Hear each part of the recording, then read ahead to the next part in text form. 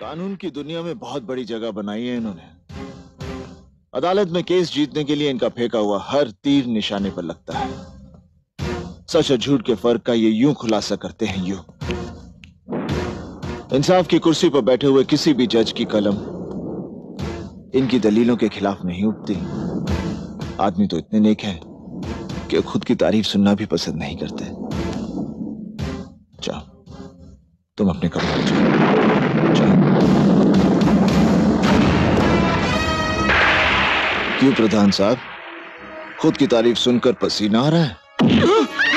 चुप! किसी के मुँह से कोई आवाज़ नहीं निकलेगी। कहते हैं, जब मेरा बाप मरा था तो मेरी माँ की आवाज़ बंद हो गई थी।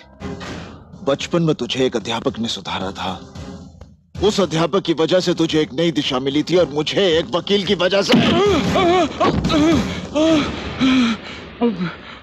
मुझे माफ़ कर दो। लगता है उसने फ़ोन की लाइन काट दी है और उसने दरवाजे भी बाहर से बंद कर दिए हैं। मुझे माफ़ कर दो। नहीं प्रधान साहब बड़ी बड़ी अदालतों में ऊँची आवाज़ के साथ जिसकी उंगली उठती हो वह हाथ जोड़कर माफ़ी मांगे। अच्छा नहीं लगता।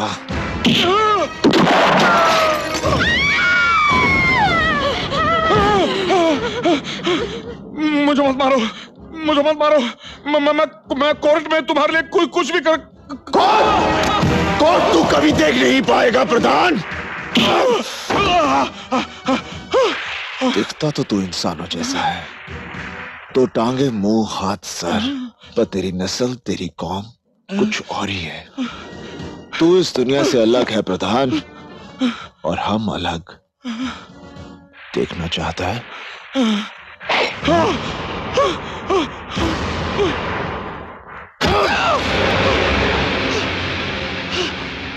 देख, मेरे खून का रंग लाल है। तेरे खून का रंग लाल नहीं हो सकता।